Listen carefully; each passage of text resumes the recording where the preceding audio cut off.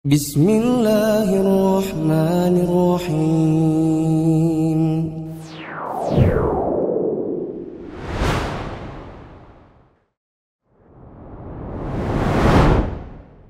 بسم الله الرحمن الرحيم. السلام عليكم ورحمة الله وبركاته. إن الحمد لله نحمده ونستعينه ونستغفره ونعوذ بالله من شرور أنفسنا ومن سيئات أعمالنا. من يهديه الله فلا مضل له ومن يضلل فلا هادي له. Wa asyhadu an la ilaha illallah wahdahu la syarikalah wa asyhadu anna muhammadan abduhu wa rasuluhu la nabiyya ba'dah. Teman-teman yang dirahmati Allah, para pemirsa Mufid TV Official, terkhusus para mahasantri dan mahasantriwati Mufid Islamic Academy. Pada hari ini, insya Allah kita akan kembali melanjutkan penjelasan tiga landasan utama atau syara al-usul al-thalatha, karya Syekh Saleh bin Fauzan al-Fauzan. Dan pada pertemuannya lalu kita telah menyelesaikan sedikit tentang makna dan syarat la ilaha illallah. Dan kesempatan kali ini kita mulai dengan pembahasan syahadat yang kedua yaitu Muhammad Rasulullah. Wa dalilu syahadati anna Muhammadan Rasulullah qauluhu ta'ala. Adapun dalil tentang syahadat Muhammadur Rasulullah adalah firman-Nya. Laqad ja'akum rasulun من أنفسكم عزيز عليه ما عنتم عزيز عليه ما عنتم حريص عليكم حريص عليكم بالمؤمنين رؤوف رحيم Sungguh telah datang kepada kalian seorang rasul dari kalangan kalian sendiri, yang berat terasa olehnya penderitaan kalian, dan ia sangat menginginkan keimanan dan keselamatan bagi kalian. Dia pun sangat belas kasihan, lagi penyayang terhadap orang-orang mukmin. Quran Surah At-Taubah ayat 128. Wa ma'na syahadati anna Muhammadan Rasulullah ta'atuhu fima amar wa tasdiquhu fima akhbar wa jitinabu ma naha anhu wa zajar wa alla yu'badallahu illa bima syara. Makna ucapan syahadat Muhammadur Rasulullah adalah menaati apa yang beliau perintahkan, membenarkan apa yang beliau kabarkan, menjauhi apa yang beliau larang atau peringatkan, dan tidak beribadah kepada Allah kecuali dengan mengikuti tata cara yang beliau syariatkan. Syekh Salih bin Fauzan Al-Fauzan mengatakan dalam syarahnya, terdapat banyak dalil dari Al-Quran dan As-Sunnah yang menunjukkan bahwa Muhammad itu adalah utusan Allah. Dan penulis membawakan surat At-Taubah ayat 128 sebagai salah satu dalilnya. Nabi Muhammad SAW adalah utusan yang membawa wahyu dari Allah untuk disampaikan kepada segenap manusia. Sebagaimana firman Allah, Laqad ja'akum rasul. Telah datang kepada kalian seorang rasul. Maka kalau ada orang yang meyakini bahwa Muhammad itu bukan utusan Allah, maka orang tersebut dinyatakan keluar dari Islam. Karena ini termasuk di antara rukun Islam. Yang kedua, di antara sifat Nabi Muhammad Wasallam yang disebutkan di dalam ayat yang sudah dibacakan tadi, yaitu surat At-Taubah ayat 128, adalah di antaranya min anfusikum azizun alaihi ma'anittum harisun alaikum bil mu'minin raufur rahim. Empat sifat ini disebutkan oleh Syekh Salih bin Fauzan. Yang pertama dari kalangan manusia. Maka Nabi SAW itu bukan bangsa jin, bukan bangsa malaikat, atau yang semacamnya. Jadi beliau itu manusia biasa. Bisa dilihat, bisa diraba, bisa didengar, berkomunikasi dengan dua arah dengan manusia yang lainnya. Dan itu semua adalah dalam rangka untuk memudahkan penyampaian wahyu. Kita bayangkan kalau Nabi Muhammad itu bangsa malaikat.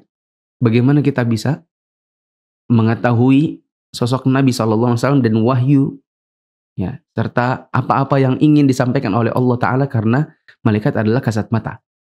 Yang kedua, sifat Nabi SAW adalah merasa berat atas penderitaan umatnya. Sehingga beliau menginginkan yang mudah bagi mereka. Nabi SAW mengajarkan syariat yang mampu dijalankan manusia.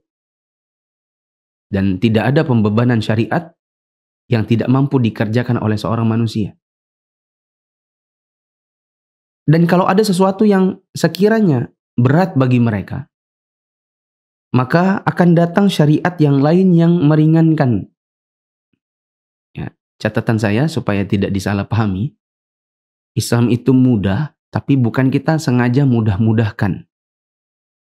Dan kalau ada keberatan, kalau ada kesulitan yang dirasakan oleh seseorang dalam menjalankannya, nanti akan datang syariat lain yang memberikan keringanannya. Bukan kita ringankan sendiri. Contoh, kita diperintahkan oleh Allah Ta'ala dan Rasulnya untuk sholat dalam keadaan berdiri. Ini standarnya.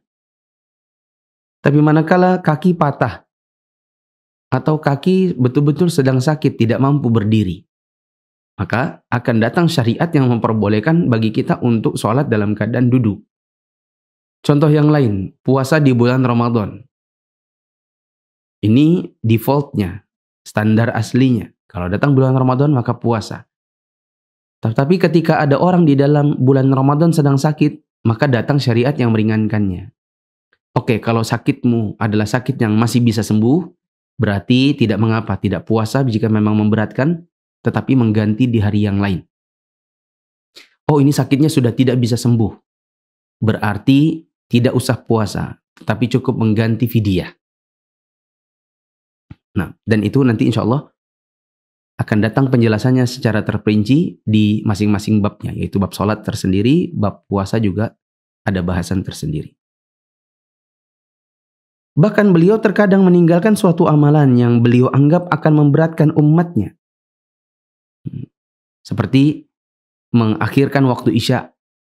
Ya, Nabi SAW sebenarnya lebih menyukai untuk mengakhirkan sholat isya karena itu lebih utama. Tetapi Nabi SAW tahu bahwa itu akan memberatkan umatnya. Maka Nabi SAW tidak senantiasa mengerjakannya. Nabi SAW tahu bahwa setiap kali akan berwudu itu yang disukai oleh Allah adalah bersiwak. Tetapi Nabi tahu itu akan memberatkan umatnya, maka Nabi tidak senantiasa mengerjakannya. Ya. Yang ketiga, Nabi SAW sangat menginginkan keimanan dan keselamatan umatnya. Makanya beliau SAW sangat berusaha sekuat tenaga untuk memberikan jalan hidayah dan menasehati umat. Dan saya katakan seorang dai pun harus memiliki sifat seperti ini, yaitu bersemangat untuk menginginkan keselamatan bagi dirinya dan bagi orang-orang yang menjadi objek dakwahnya. Tidak bisa kita menjadi seorang dai lalu kita biarkan saja umat dalam keadaan tersesat tanpa ada nasihat. Atau bahkan kita sebagai dai kadang mendukung apa yang merupakan kesalahan yang dilakukan oleh umat hanya dalam rangka demi kepentingan pribadi kita supaya kita disenangi, supaya uh, ajaran kita tidak ditinggalkan, supaya kita lebih populer dan semacam itu. Yang keempat, Nabi SAW sangat berbelas kasihan. Dan yang kelima, beliau sangat penyayang terhadap orang-orang mukmin. Rauf, Rahim.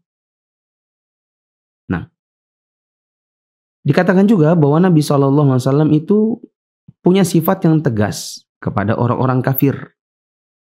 Teman-teman bisa buka di surat At-Taubah ayat 73 dan Al-Fath ayat 29. Kita masuk ke inti syahadat Muhammad Rasulullah.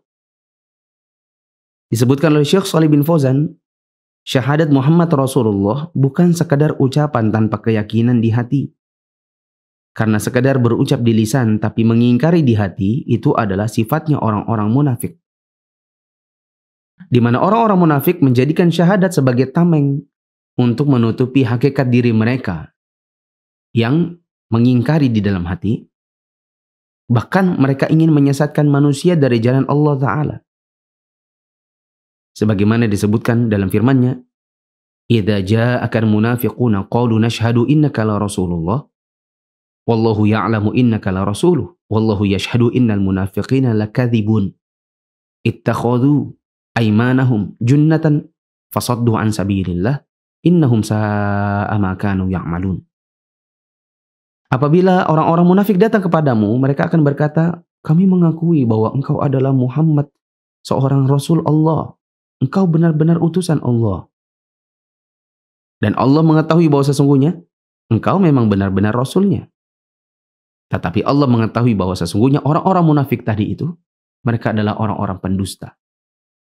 Di mana mereka mengatakan sesuatu, tetapi hati mereka sejatinya mengingkari. Teman-teman yang sudah melewati level 1 di Helia Tolibin ini mungkin masih ingat bahwa ada yang namanya kedustaan ala orang munafik di mana dia mengucapkan sesuatu yang benar, tapi hatinya mengingkari.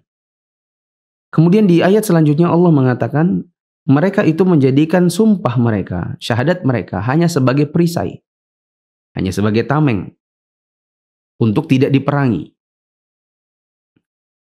Tetapi mereka ingin menghalangi manusia dari jalan Allah. Sesungguhnya amat buruk apa yang telah mereka kerjakan. Allah sebutkan ini di dalam surat Al-Munafiqun ayat 1 sampai 2.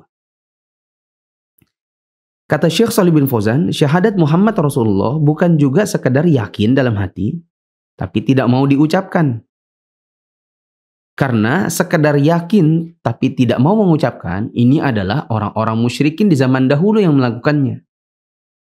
Di mana mereka tahu dan yakin bahwasanya Nabi Muhammad adalah utusan Allah, tetapi mereka tidak mau mengikrarkan syahadat itu dengan lisan mereka. Jadi teman-teman, tidak bisa bersyahadat hanya sekedar ngucap tapi nggak yakin. Tidak boleh juga sekedar yakin tapi tidak mau berucap. Syekh Salih bin Fauzan juga mengatakan orang musyrikin di zaman Nabi menolak bersyahadat atas kerasulan Nabi. Di antara penyebabnya adalah kesombongan dan kedengkian mereka kepada Bani Hashim. Ya. Jadi salah satu yang menghalangi hidayah kepada diri seseorang adalah sombong dengki. Sombong sudah tahu dirinya nggak tahu, tapi tidak mau mengakui, jadi merasa pintar. Dengki merasa diri sejajar, sehingga tidak mau mengakui kehebatan atau kelebihan orang yang memiliki kelebihan tersebut. Abu Jahal Amr bin Hisham mengakui hasad itu dengan perkataannya. Dulu kita ini dan Bani Hashim sederajat dalam segala hal. Hanya saja mereka berkata bahwa di kalangan mereka ada seorang rasul dan itu tidak ada di kalangan kita. Nah, jadi ini Abu Jahal ini tahu tentang kerasulannya Muhammad SAW, tetapi sombong dan dengki. Hal lain yang menyebabkan orang musyrikin di zaman Nabi menolak bersyahadat adalah fanatisme jahiliyah kepada suku. Ini sebagaimana yang terjadi pada Abu Talib yang mengakui kerasulan Muhammad Wasallam, ya, bahkan membantu beliau dalam dakwahnya, tapi tidak mau bersyahadat karena malu meninggalkan keyakinan sukunya, yaitu agama bapaknya, agamanya Abdul Muttalib yang menyembah berhala. Berikutnya kata Syekh Salih bin Fauzan, tidak cukup pula bersyahadat dengan sekedar yakin di hati dan ucapan di lisan. Harus ada unsur yang ketiga yaitu ittiba, atau beramal dengan mengikuti petunjuk beliau. Jadi tidak cukup hanya dengan sekedar yakin di hati dan mengucap di lisan. Harus ada praktek dengan anggota badan. Dengan demikian akan tergabung persaksian lahir batin yang terbentuk menjadi sebuah keyakinan atau akidah dalam diri seorang muslim. Teman-teman yang dirahmati Allah, kita dapati sebagian kaum muslimin yang awam. Kalau nabi kita dihina, maka mereka bangkit dan marah. Itu timbul dari mana? Dari hati. Karena ada keyakinan membuat dia menjadi cemburu manakala yang diyakini yaitu Nabi Muhammad SAW dilecehkan. Sehari-hari ketika bersyahadat, mereka pun syahadat asyhadu anna Muhammad Rasulullah. Akan tetapi, kita lihat dalam praktiknya sehari-hari mereka jauh dari tuntunan Nabi SAW. Maka ini yang dimaksudkan oleh Syekh Salih bin Fauzan di sini. Tidak cukup hanya dengan sekedar yakin di hati, berucap dengan lisan tanpa mengamalkannya dengan anggota badan. Berikutnya, makna syahadat Muhammad Rasulullah mencakup beberapa amalan berikut.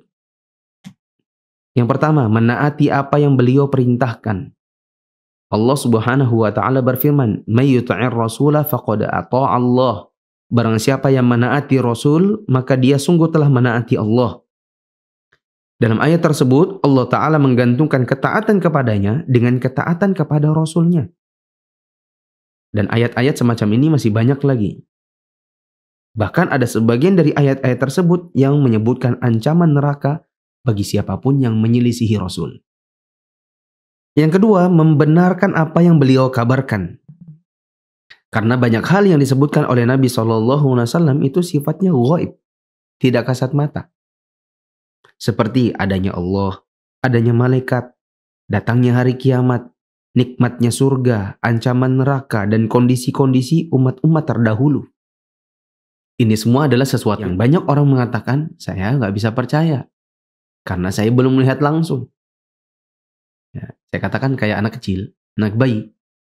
Itu kalau mamanya pergi, dari pandangan matanya, dianggapnya mamanya hilang, makanya dia nangis. Ya. Jadi orang yang tidak percaya Allah, tidak percaya malaikat, hanya karena lantaran tidak melihatnya, itu kayak anak bayi. Yaitu meyakini tak adanya hanya karena tak ada di depan matanya.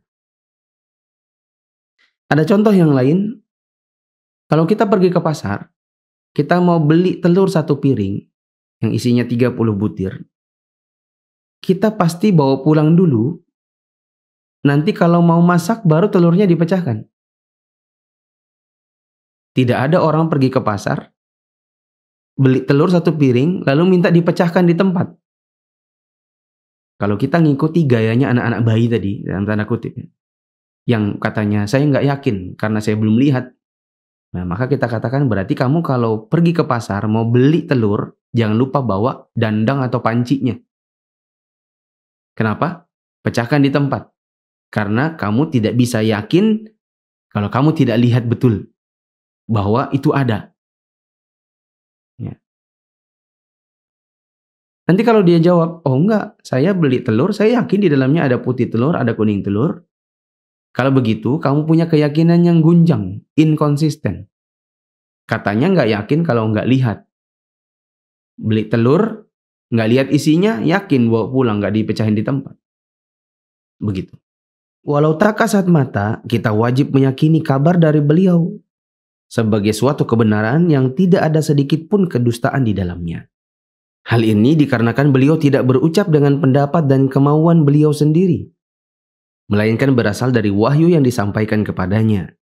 Allah berfirman, "Wa ma yantiqu 'anil hawa in huwa illa wahyu yuha." Dan tiadalah yang diucapkan Muhammad adalah menurut kemauan hawa nafsunya. Ucapannya itu tiada lain hanyalah wahyu yang diwahyukan kepadanya.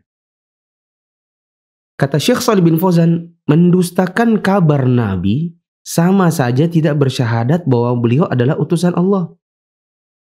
Bagaimana mungkin seseorang bersaksi Muhammad adalah utusan Allah, tetapi di saat yang bersamaan dia mengingkari wahyu yang dikabarkan oleh beliau? Contohnya tadi, ada orang mengatakan, saya tidak meyakini kiamat datang. Ya habis mati, mati, dah selesai. Maka kita katakan, berarti Anda tidak bersyahadat Muhammad adalah utusan Allah dong. Kalau dia bilang, enggak, saya yakin. Maka kita jawab, bagaimana Anda yakin dia adalah utusan Allah, tetapi Anda tidak meyakini kabar yang dia sebutkan, salah satunya adalah akan datangnya hari kiamat. Ketiga, makna syahadat adalah menjauhi apa yang beliau larang atau beliau peringatkan. Larangan-larangan yang harus dijauhi berupa perkataan, perbuatan, atau sifat-sifat yang jelek yang jumlahnya sangat banyak. Beliau tidak melarang sesuatu melainkan karena itu akan memberikan dampak buruk. Sebagaimana beliau tidak memerintahkan sesuatu melainkan akan ada maslahat dan kebaikan. Jika seorang hamba tidak menjauhi larangan beliau, maka itu akan menjadi kontradiktif dengan syahadat yang dia ikrarkan. Bagaimana mungkin seseorang bersaksi bahwa Muhammad adalah utusan Allah, tetapi di saat yang bersamaan dia melanggar apa yang beliau larang. Allah Subhanahu wa taala berfirman, "Wa ma atakumur rasulu fakhudhuhu wa ma nahakum anhu fantahu." Apa yang diberikan rasul kepadamu, terimalah. Dan apa yang dilarangnya bagimu maka tinggalkanlah. Al-Qur'an surat Al-Hasyr ayat 7. Rasulullah sallallahu alaihi wasallam juga bersabda, "Fa idza nahaitukum an syai'in fajtanibuh wa idza amartukum bi amrin fa'tu minhu masata'tum." Jika aku larang sesuatu bagi kalian, maka tinggalkanlah, kata Nabi. Dan jika aku perintahkan sesuatu atas kalian, maka kerjakanlah dengan kadar yang sanggup kalian lakukan. Makna atau konsekuensi syahadat Muhammad Rasulullah yang keempat adalah tidak beribadah kepada Allah kecuali dengan mengikuti tata cara yang Nabi SAW syariatkan. Artinya, kita tidak boleh beribadah dengan tata cara yang tidak beliau ajarkan. Dengan ngarang sendiri. Meskipun niat kita baik dan kita ingin mendapatkan pahala dengan mengerjakannya. Niat baik saja tidak cukup, tetapi harus ada ittiba atau mengikuti petunjuk Rasul. Dan ibadah itu sifatnya tauqifiyah. Artinya bila ada dalil barulah dikerjakan. Saya berikan analogi teman-teman. Masih ingat waktu kita sekolah dulu di SD khususnya SD negeri. Ada pelajaran SKJ atau senam kesegaran jasmani. Kita tidak sedang berbicara soal musik ya. Lepas dari soal musik, soal aurat, soal bagusnya sekolah di sekolah islami dan lain-lain. Lepaskan dulu masalah itu. Di hari Jumat kita disuruh keluar kelas untuk ikut senam. Guru olahraga hadir di depan sebagai contoh. Ya, dan dia sudah ikut pelatihan nih. Pelatihan guru olahraga. Senam terbaru begini gerakannya. Nanti kalian ajarkan di sekolah. Pada hari Jumat, setelah dia mengikuti pelatihan berhari-hari, dia maju untuk mencontohkan. Waktu dia maju ke depan, kita mundur ke belakang. Dia gerak ke samping kanan, kita ke samping kiri. Dia jalan di tempat kita lompat-lompat. Ya. Dia berlari kita guling-guling. Itu guru kalau ngelihat. Dia akan mengatakan begini. Kenapa kok kalian bergerak tidak seperti yang Bapak ajarkan? Bapak ini diutus oleh pemerintah untuk mengajarkan kepada kalian gerakannya. Bapak geraknya ke depan, kalian ke belakang. Bapak ke kanan, kalian ke kiri. Bapak jalan di tempat, kalian lompat-lompat. Bapak berlari, kalian guling-guling. Kalau memang seperti itu, lalu buat apa? Saya dipekerjakan oleh pemerintah sebagai guru olahraga, diberikan pelatihan. Ketika saya datang ke sekolah mengajarkan kepada kalian, lalu kalian gerak dengan gerakan yang berbeda dengan saya. Apa mentang-mentang kalian ini bayar sekolah SPP lalu kalian merasa kalian boleh bergerak sesuai dengan yang kalian mau? Saya yakin itu satu lapangan langsung diam semua. Pak Guru marah. Mungkin selama ini kita merasa kita sudah bayar SPP. Lalu kita mau seenaknya aja di sini. Teman-teman yang dirahmati Allah. Kurang lebih sama. Ya, meskipun berbeda kasus, berbeda analogi. Nabi SAW diutus oleh Allah ngajarin kepada kita begini loh caranya sholat, begini caranya berwudu, begini caranya mandi junub, begini caranya mengerjakan manasik haji, begini caranya melaksanakan umroh, begini cara ngitung zakat, begini cara kalian bagi waris. Nabi SAW sudah diajarkan oleh Allah untuk disampaikan kepada umatnya. Ternyata umatnya ini mentang-mentang kaya, mentang-mentang pintar, mentang-mentang gagah, mentang-mentang keturunan bangsawan. Dia mau mengerjakan apa yang dia mau. Bukan yang Allah dan Rasulnya mau. Kalau Nabi SAW hadir di sini dan melihat hal itu, tentu beliau akan marah. Sebagaimana kita lihat dari umat di zaman sekarang, banyak hal yang mereka kerjakan dengan niat katanya baik. Ini alasannya adalah alasan yang baik, mengerjakannya ikhlas, akan tetapi tidak datang tuntunan syariatnya dari Nabi Muhammad Sallallahu Alaihi Wasallam. Rasulullah Sallallahu Alaihi Wasallam bersabda, Fa'alaikum bisunnati wa sunnatil khulafa'il mahdiyyin ar-rasyidin. Tamassaku biha wa 'addu 'alaiha bin nawajid. Wa iyyakum wa muhdatsatil umur fa inna kulla muhdatsatin bid'ah wa kulla bid'atin dhalalah. Wajib bagi kalian untuk berpegang teguh dengan sunnahku dan sunnah para khulafa atau para khalifah yang diberikan petunjuk. Pegang teguh keduanya dan gigit sunnah itu dengan gigi geraham kalian. Hati-hatilah dari perkara baru yang diada-adakan di dalam agama. Karena setiap perkara yang baru yang diada-adakan, yang dikarang-karang di dalam agama adalah bid'ah dan setiap bid'ah adalah kesesatan. Ibadah dengan tata cara baru yang diada-adakan yang tidak Rasulullah SAW syariatkan disebut dengan bid'ah dan bid'ah itu adalah termasuk kesesatan. Jika ada yang mengerjakannya dengan alasan tujuannya baik, maka jawabannya adalah standar penilaian ibadah itu baik atau tidak bukan dengan tujuan semata, melainkan juga dengan kesesuaian dengan petunjuk Rasul, ketaatan dan kepatuhan kepada beliau. Jika memang kita dipersilakan untuk sesuka hati mengerjakan ibadah dengan cara yang kita mau, maka sebenarnya kita tidak butuh seorang rasul sebagai panutan atau contoh dalam ibadah. Dengan kata lain, jika seorang hamba beribadah dengan tata cara baru yang tidak Rasulullah SAW ajarkan, berarti dia tidak bersyahadat Muhammad Rasulullah dengan syahadat yang sebenarnya. Saya tutup video kali ini dengan sedikit rangkuman Nabi Muhammad adalah utusan Allah. Siapa yang tidak meyakini ini berarti dia keluar dari Islam atau memang belum pernah masuk Islam sama sekali. Kalau dia mengatakan dia Islam berarti Islamnya tidak diakui karena syahadat Muhammad Rasulullah adalah rukun Islam. Di antara sifat-sifat Nabi adalah dari kalangan manusia biasa sehingga ada interaksi dengan umatnya dan sampai wahyu dari Allah melalui lisan beliau beliau menginginkan yang mudah di dalam syariatnya. Dan bila ada yang memberatkan, ada syariat yang lain yang datang sebagai kemudahan. Dengan catatan tadi saya katakan, bukan dalam rangka bermudah-mudahan, melainkan mendapatkan kemudahan dari syariat Islam itu sendiri. Bukan kemudahan yang kita karang. Kemudian Nabi SAW sangat menginginkan kita mendapatkan petunjuk, sangat berbelas kasihan, penyayang kepada orang-orang mukmin dan tegas kepada orang-orang kafir. Syahadat Muhammad Rasulullah tidak cukup hanya dengan sekadar ucapan, tapi tidak meyakininya dengan hati. Sebagaimana orang-orang munafik di zaman Nabi berucap, tapi hatinya mengingkari. Tidak cukup juga sekedar yakin, tapi lisan tidak mau mengucapkan. Sebagaimana yang terjadi pada Abu Talib Ya, dia meyakini Muhammad adalah Rasulullah, bahkan dia membantu Nabi SAW dalam dakwahnya, tetapi lisannya tidak mau mengucapkan syahadat itu. Tidak cukup juga yakin dengan hati, mengucapkan dengan lisan, tetapi harus ada amalan dengan anggota badan. Makna syahadat Muhammad Rasulullah di antaranya adalah menaati apa yang beliau perintahkan. Membenarkan apa yang beliau kabarkan, meskipun mungkin mata kita tidak pernah melihatnya. Karena memang yakin itu bisa terbentuk meskipun belum lihat. Ketiga, menjauhi apa yang Nabi SAW larang. Dan yang keempat, beribadah kepada Allah dengan tata cara yang beliau tuntunkan. Wallahu a'lam biswab.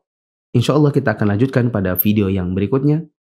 Subhanakallahumma wa bihamdika asyhadu an la ilaha illa anta astaghfiruka wa atubu ilaik.